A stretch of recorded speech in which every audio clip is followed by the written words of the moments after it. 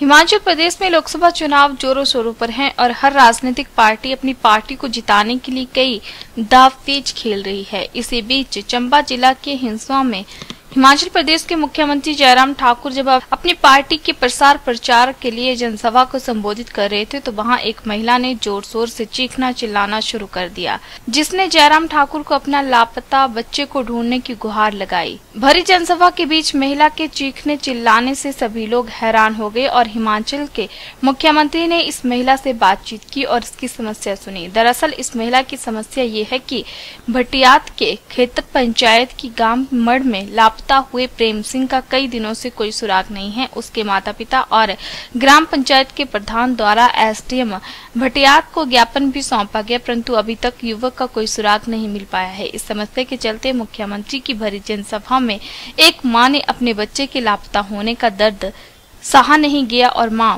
भरी जनसभा में ज़ोर ज़ोर से रोने लग पड़ी। लापता युवक के परिजनों में से युवक की बहन का कहना है कि उसका भाई, जो लापता हो गया है, उसके बारे में स्थानीय पुलिस में रिपोर्ट दर्ज करवाई है, मगर आज दिन तक कोई कार्यवाही अमल में नहीं लाई गई। इस दौरान युवक की बहन ने यह भी आरोप लगाया कि उस रात युवक नवाला में शामिल होने गया, उसका न्योता, स्थानीय विधायक विक्रम जरियाल ने भतीजे द्वारा दिया गया था। विक्रम जरियाल के भतीजे द्वारा दिया गया था, परंतु इस विषय में जब युवक की बहन ने अगले दिन विधायक के भतीजे से बात की तो उसने कहा कि वो रात करीब दस बजे सो चुका था। मैं गया था। श्री विक्रम सिंह केजरीवाल भतीजे ने सुध ने बुलाया था उसको। सिर्फ़ मेरे गाँव का सिर्फ़ मेरा एक ही भाई गया था वो। वो आ, आज तक वो घर नहीं पहुँचा। तब अगले अगले दिन हमने सुधन को फ़ोन किया तो मैंने बोला हाँ मेरा भाई आज नहीं आया वो कहाँ है? तो उ, उसने बोला मेरे को नहीं पता मैं खा मैं मैं खा खा पी के दस बजे सो गया था। तो मैंने बोला वहाँ प्रोग्राम चला था कि आप सोने गए थे? तो फिर मैंने बोला आप अगर आप नहीं बताएँगे तो मैं आगे करूँगी। तो वो बोलने लगे कोई बात नहीं कर दे आगे। फिर मैं फिर मैं पुलिस स्टेशन गई। पुलिस स्टेशन हम इन, पुलिस स्टेशन चुवाड़ी में हमने रिपोर्ट लिखाई। उन्होंने भी कोई कार्रवाई नहीं की। अगले दिन हमने आज रिपोर्ट लिखाई। कल आए थे वो। वो यहाँ आए साथ में विक्रम सिंह भी आए थे। वो भी आए थे साथ में। वो फिर वो हमारे घर आए। मैंने बोला हाँ सर ऐसी ऐसी बात है। मेरा भाई नहीं आया। आप प्लीज़ हमारी मदद करो। सर ने बोला देखता हूँ मैं। वो कुंजर गए। वो कुंजर वहाँ देख जाने वाला था। वहाँ गए वहाँ उन्होंने खाना खुना खाया। आगे आगे। वो डॉग्स भी लेके गए थे। मेरे को नहीं पता कैसा डॉग्स था। वो वो वो उसके नज़दीक ही घुमाया उन्होंने। बोल वापस खाना खुना खा के वापिस आ गए। मेरे को नहीं पता खाना किसने बनवाया था किसने ने किसने उनको बुलाया था? सुध ने बुलाया था विक्रम सिंह के भतीजे ने। अच्छा तो ये कब की बात है? कितने लगभग कितने चौबीस मार्च को। चौबीस मार्च हाँ को। कहाँ बुलाया था? कुंजर महादेव नवाले में। उधर वो नुवाले में वो शामिल नहीं था उनका भतीजा जो वो शामिल नहीं वो, था? वो भी शामिल था श्री विक्रम सिंह जयाल भी शामिल थे। मैंने बोला जो जो नुवाले में गए थे उनकी पूरी पूर्ण पूर्ण की आपका गाँव कौन सा है? मे, मेरा गाँव मढ़। एक ही एक ही बच्चा गया था उस गाँव से? हाँ जी एक ही एक ही गया था। तो फिर मैंने मैंने बोला उन, उन सब की इंक्वायरी करो। तो बोलने लगे क्या करे? वहाँ वहाँ भी तो मैं भी गया था। तो मैंने मैंने बोला आप भी गए थे तो आपने भी देखा होगा? तो बोलने लगे हाँ मैंने भी देखा है। तो फिर मैंने बोला हाँ तो कहाँ है मेरा भाई? वो नीचे आ गए फिर हम हम हम अब आपकी क्या मांग है?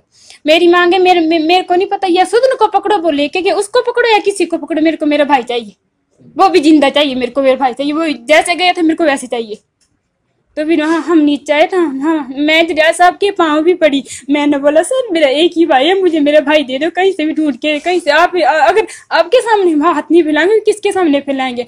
तो फिर उन्होंने मुझे उठाया नहीं, वो पीछे हो गए। वो बोले क्या कर रही है तू? मैंने बोला हाँ हम क्या करें, हम गरीब हैं। वो दिन को कमाता था मेरा भाई, शाम को हमें हमें खाना मिलता था। तो फिर वो बोलने लगे, आप मेरी मम्मी फिर मेरी मम्मी ने बोला हाँ हाँ सर, क्या हुआ? कुछ पता चला? तो बोलने लगे, कोई बात नहीं, आज कल हमने अखबार में छुपा दिया है तो हमने बोला, सर, अखबार छुपाने का, आपकी मर्ज़ी है, जो करना है वो करो, सिर्फ़ मेरे को मेरा भाई चाहिए, फिर कहीं से ला के दो। तो फिर वो बोलने लगे जैसे आप तो ऐसे बोले जैसे मैंने आपका भाई घूम के मेरा भी एक बेटा है, आप भी अपना, मैं, मेरा भी एक बेटा है, आपका भी एक बेटा था, कोई बात नहीं, मैं आपको अपना बेटा दे दूँगा। उन्होंने इतनी बात बोली।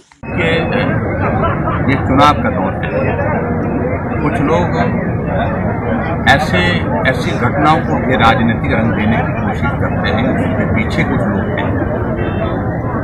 वो माँ आई थी, उसकी बेटी साथ थी। हमने उनकी सारी बातें मंच पर भी सुनी और फिर उसके बाद सुनिश्चित किया मैंने कहा कि इनको आप रेस्ट हाउस में लेकर के बैठाइए। हम कार्यक्रम पूरा करने के बाद सारी बात को सुनेंगे।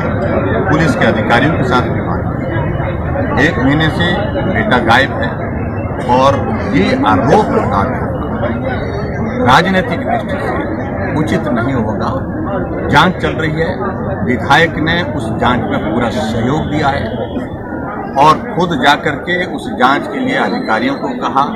अधिकारियों के कहने के साथ साथ में उसमें जो भी सहयोग उनकी ओर से बन सकता था, ड्रोन का इंतज़ाम करना, उसके बाद लगातार उसका फॉलोअप करना, वो तमाम सारी चीज़ें कोई भी आदमी आरोप तो आसानी से लगा सकता है। लेकिन मुझे लगता है कि जब तक जाँच इसमें पूरी नहीं होती है, कल मैंने आदेश दिए है कि वहाँ जिस एरिया में जहाँ उसका मोबाइल अंतिम इसमें मिला है मोबाइल नहीं मिला, लोकेशन मिली है मोबाइल की, उस एरिया को और भी ज़्यादा जो है, छानबीन करके पुलिस फोर्स को लेकर के वहाँ पर, जाकर के वहाँ पर तलाशी ली जाए, उस क्षेत्र को पूरा जांचा जाए तो वो कोशिश की जा रही स्लीपर डॉग डॉग्स भी वहाँ पर उसमें भेजे गए थे, लेकिन अभी तक उसमें सफलता नहीं मिल पाए परिवार के लोग भी उसमें पहले शक की बातें नहीं करते थे, लेकिन जैसे जैसे इसमें राजनीति आई जैसे जैसे राजनीति लोग उसमें जो है वो दखल दे रहे हैं तो उसके बाद उनने कुछ बातें कहनी शुरू की। हम इस बात को स्पष्ट कर रहे हैं, कोई भी हो,